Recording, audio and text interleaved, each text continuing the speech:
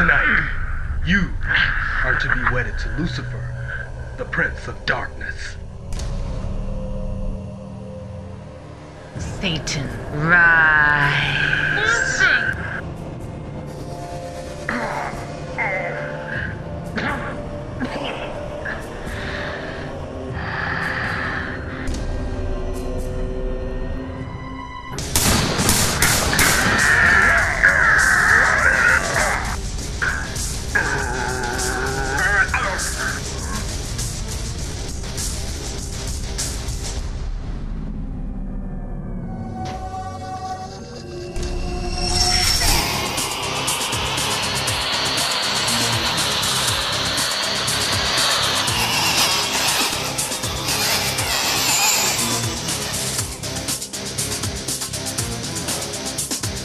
Someone call an exorcist?